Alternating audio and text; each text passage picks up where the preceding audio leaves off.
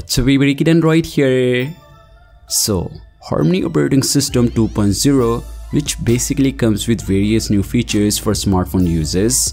This is a huge announcement that Huawei made for the consumers and has been awaited for a long time. Even after its China exclusive availability, Huawei global smartphone users including us are eagerly waiting to install the OS.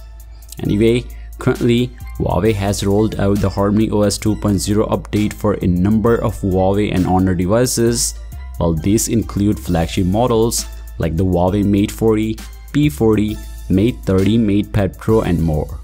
But the main question is that, when will Harmony operating system roll out for my global Huawei device?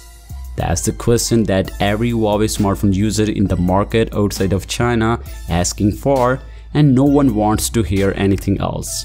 So I think I got a clue when the rollout will start. So according to some latest news, Huawei may start Harmony operating system rollout for the global Huawei devices by December 2021. Yes, within this year, Harmony operating system global version will be released and which devices will get to the first.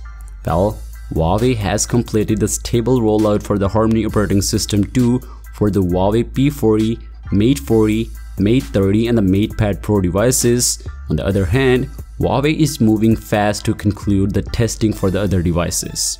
Well, this brings us to the answer to our question. The mentioned flagship devices will be the first in the testing wagon, followed by the rest as it happened for the Chinese models.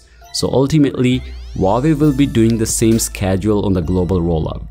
And I will say when the rollout gets started, it will approach all new and old Huawei devices really fast.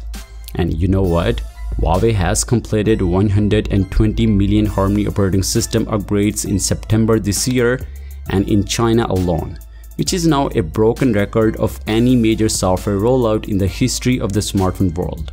Furthermore, the global launch of the Harmony operating system will create fear for Android because it can create a billion upgrade mark which is crazy to even think about. So yeah, Harmony operating system global version might come in December this year.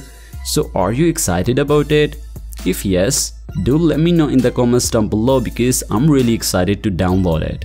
So yeah, if you somehow like this video, then a sub to the channel would be a great reward for me. So as always, I'll catch you guys tomorrow. Peace out. Bye-bye.